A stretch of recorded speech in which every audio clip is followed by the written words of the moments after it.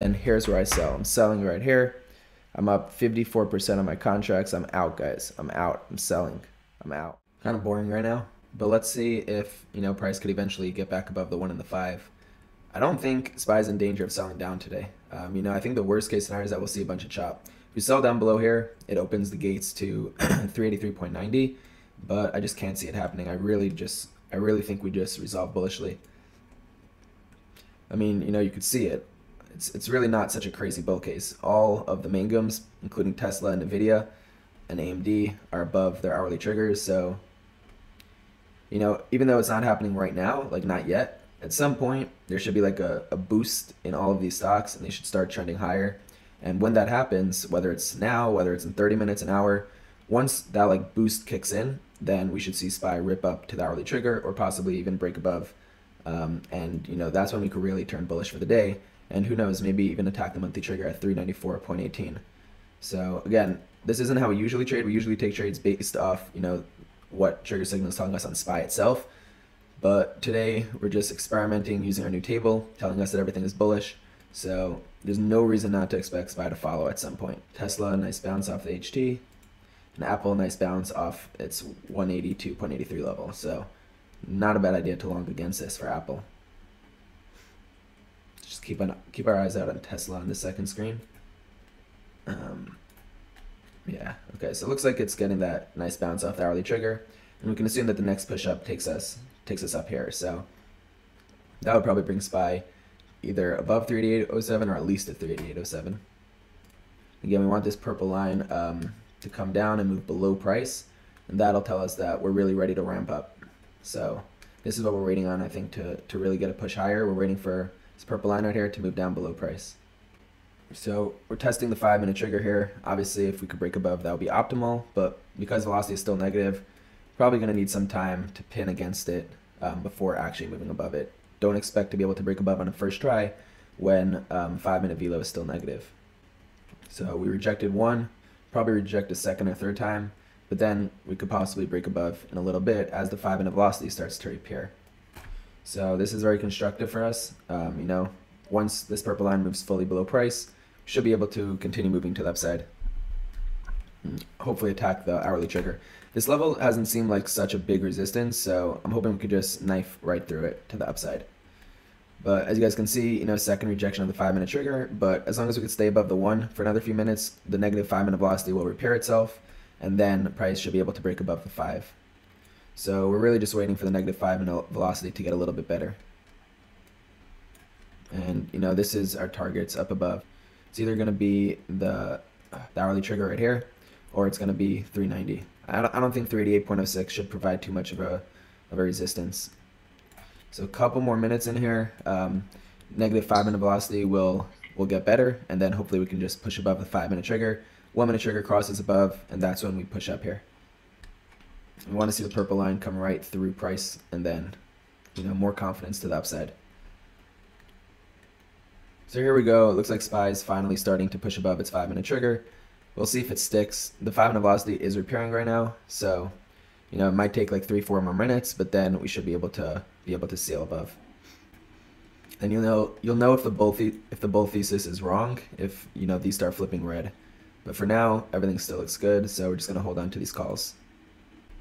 Obviously, what bulls want to see here is the one minute trigger crossing above the 5. And if you're bearish here, you want to see price move below this level. Okay, so it looks like we're close to getting the purple line under price in the 5 minute, and then the next step would be getting the purple line under price in the 15 minute. Once you have both of those, you know, at that point, I'm just going to assume we're going to hit the hourly trigger. Because then we have a lot of bullish conf um, confluence between LDPM and between, you know, the hourly trigger status. All right, so if you want to trim at this level, not a bad idea. You know, to make itself prove it to you, to make price prove that it can get above first. So if we come up here and you want to trim, should be about 15, 20%. That's fine. Um, but I think I'm just gonna, you know, hold on for the day, see what happens. I'm trying to like not actively trade it and more just sit in a position and trust my thesis that we're headed up here today. So this is starting to look good. You guys can see LDPM on the five minute now moving below price. So once that happens, um, we should be able to move up, continue moving up to the upside. Just check back in on Tesla for a minute. Yeah, so Tesla bounced off its hourly, and now it's you know got above the five minute trigger. So again, similar story. It should be headed up to test the daily trigger at 185. Apple has not been able to get any acceleration above this level, so I'd be curious, you know, if it could push up at all. We know there's been, you know, plenty of rejections at this level. So to help our bull thesis, we want to see a lot of separation away from 152.83. We want to see, you know, price really starting to climb separate itself from here. We'll have the hourly velocity step up even stronger. And that's when we can get um, a nice, powerful push higher. For now, until Apple is able to separate itself from this level, seems like we're just going to be chopping around. But, you know, maybe today's the day where we get that boost higher and Apple moves up another level, bringing SPY up with it. Apple hasn't been able to really trend bullishly. It's more, see, since um, since last Friday, well, really since 10, uh, 10 days ago, um, Apple has just really been chopping in this range. Had a nice bounce off the daily trigger here, and then you know had a pretty bounce off the daily trigger here. So just hoping to see like a nice um, upside thrust from Apple as opposed to just sitting on this 152.83 level. So as SPY comes into here, you can either trim right now to force this level to prove itself. Um, we're up 17% uh, on those calls, so if you want to take it, you can do that right here. Um, this is going to act as resistance. Um, if you don't want to take it, if you want to hold to the hourly trigger, that's fine too. But um, you know, if you just want to grab a quick profit right now, you could totally take it right here, take the money and run because we are expecting this level to act as resistance for now. So 388.06 is where you would have trimmed if you wanted to sell at this level. For me, I'm gonna hold on a bit longer. Um, you know, I really want to get an hourly trigger test, so that's what I'm that's what I'm waiting for. Um, but you're totally free to take the money right here. It's about a 16% gain. We went long in here, so whenever you can make 16% in like 15 minutes, it's always a good idea to just grab it. But again, like I said, um, because things just look really bullish to me around the market, although this might act as resistance to start, I do think at some point today we should be able to break above it and move up to the hourly trigger, or maybe even you know break through the hourly trigger and move up all the way to Gavin's next level. So if you guys look at the hourly velocity, you'll see how much better it's improved. Since it's improved so much, I don't think you know there's going to be too much resistance at the hourly trigger. We know yesterday we had you know rejection, rejection, rejection.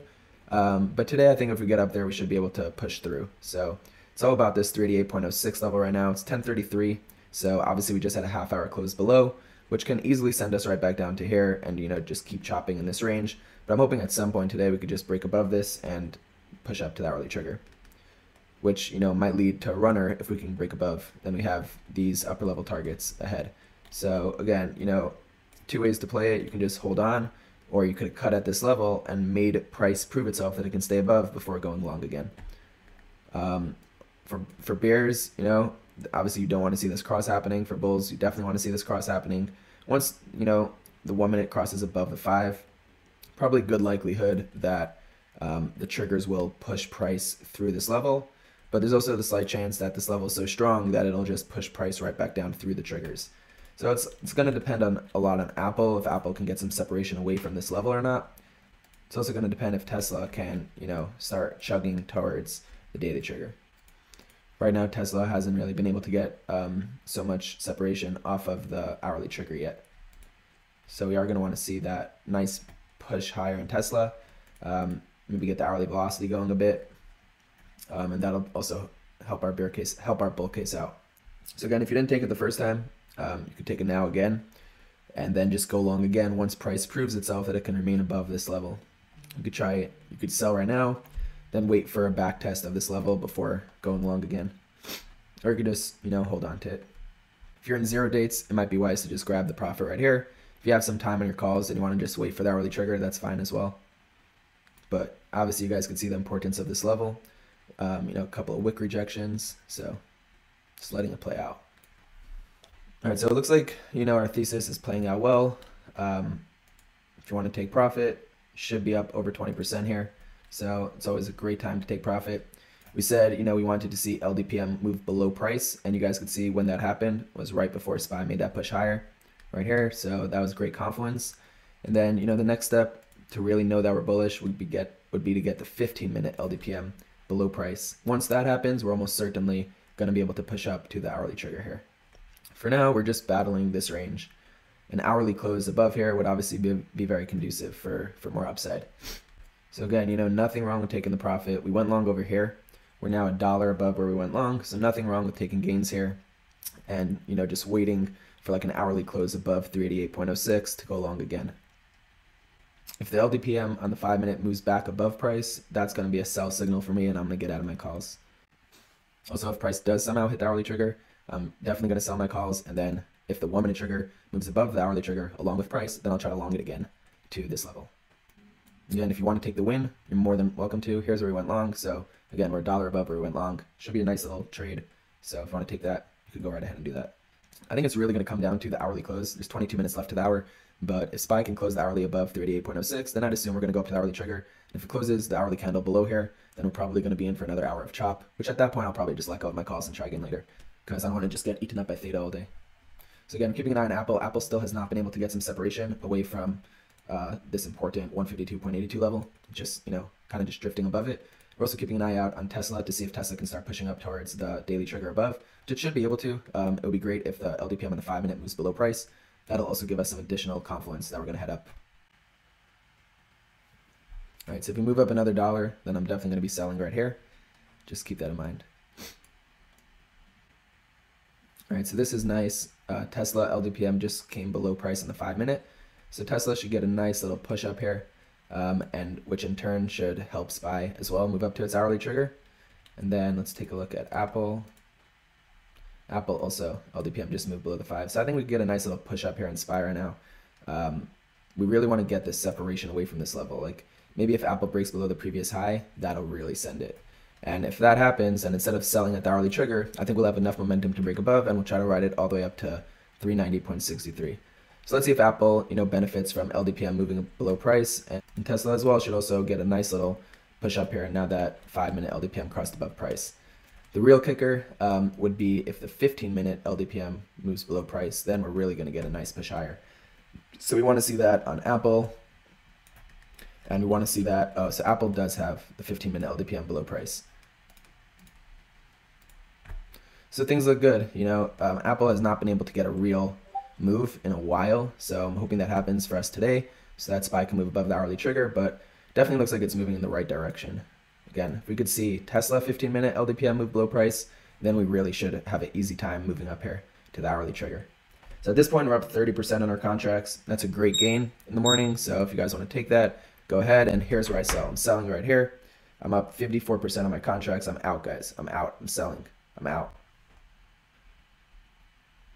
I'm out completely out. All right, I sold. So you don't have to sell now. I think price will be able to break above the hourly trigger, but we just made 54% in less than a half hour. So, you know, it was fairly easy trade. It wasn't too difficult. So when it's not too difficult, I usually just like take the money and run. When it was a really difficult trade that I had to sit through for mad long and it's like frustrating and I'm like, oh, I hate the market. I'm taking everything from them. Then I'll usually sit in it a drop longer. But for now, I'm going to take the money. Um, we all know when the one and the five is really far below the hourly trigger, it's a lot harder for price to break above. So I'm out. I sold my contracts, 54% on them, and now I'm going to wait a bit. You know, once the one and the five move a little higher um, and closer to the hourly trigger, then I'll think about taking another long above the hourly trigger. So I hope you guys enjoyed that, made some money. I'm going to close the live stream now, one and done for now. And then if there's another trade uh, shaping up soon, I'll get back on live with you guys again.